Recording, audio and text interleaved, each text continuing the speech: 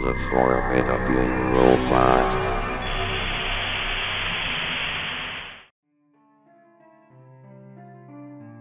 Hello, my name is Theodore Beverly, and I live a quiet life in a small town outside of Los Angeles, California, never suspecting the secrets my father harbored deep beneath the floorboards of my childhood home. I'm a fan of cartoons, especially the anthropomorphic characters of the 80s, and I was particularly fond of the one dubbed Taboo the Cheetah. A bright blue eyed cheetah with a mischievous personality. I could not get enough of my favorite cartoon character. But, it seemed, nobody else had ever heard of Taboo. Not even my father, who became increasingly agitated the more I asked about it. That curiosity slowly waned until one day, I was rummaging through a trunk in the attic, and out tumbled a delicate VHS tape, with a well worn label adorned with a blue cheetah silhouette.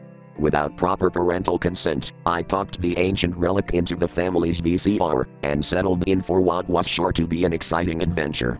The cheerful cartoon quickly took a dark turn, as Taboo the Cheetah and his wacky gang of pals faced off against a gang of vile and gruesome villains, resulting in a great battle featuring terrible and gory violence.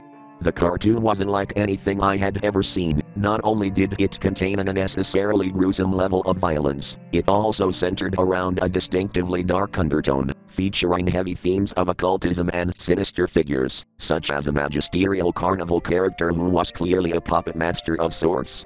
I quickly and quietly returned the tape to the trunk in the attic, never mentioning it to my father, knowing he would not approve. To this day, I do not know what I witnessed, or why my father had hidden the evil relic away, but I will never forget the horrific tales within this lost piece of media.